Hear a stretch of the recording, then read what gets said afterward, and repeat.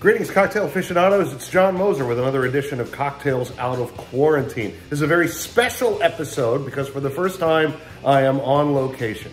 I am at my parents' condo in Estero, Florida, and uh, they've got uh, a decent selection of liquor. And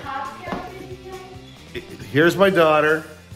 Eh, there she is, making her debut. Another reason this is a very special edition of Cocktails Out of Quarantine.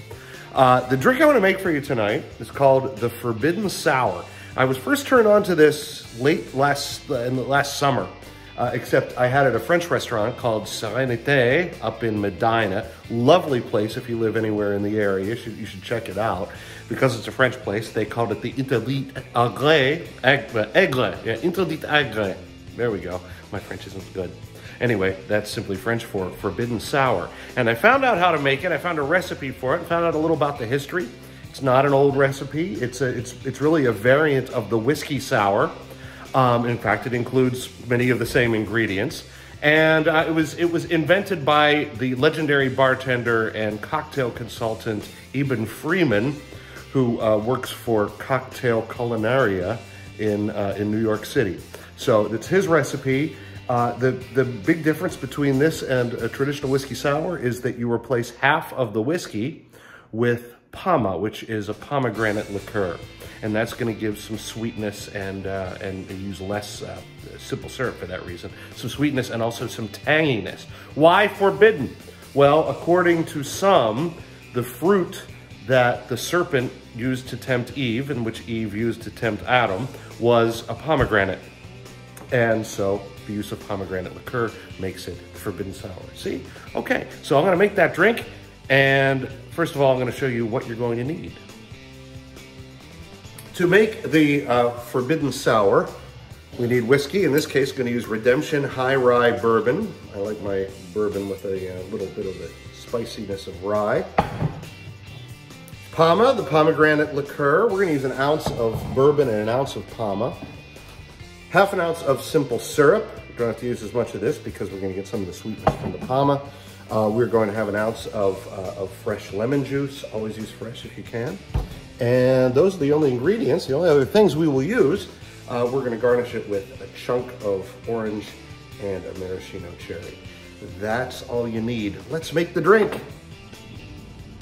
All right, we start as we often do with a cocktail shaker with some ice in it. We begin with an ounce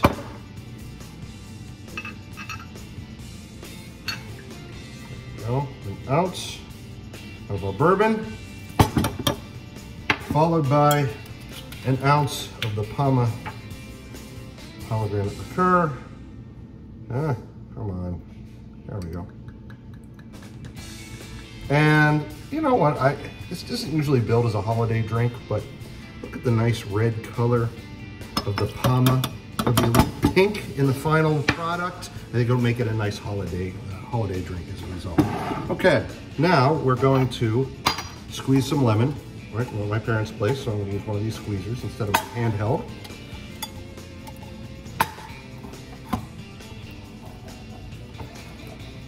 I am guessing that a half of a lemon will be good enough. I'll get an ounce out of that. I could be wrong.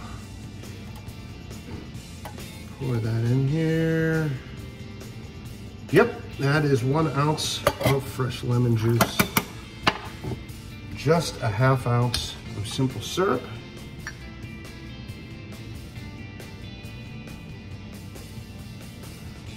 Boom, we've got everything in here. Give this a good shake.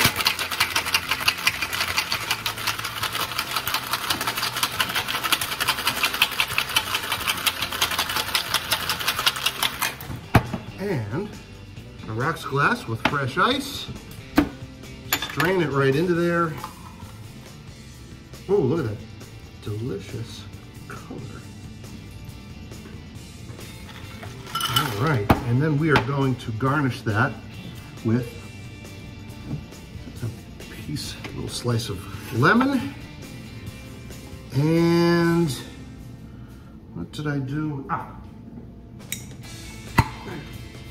maraschino cherry.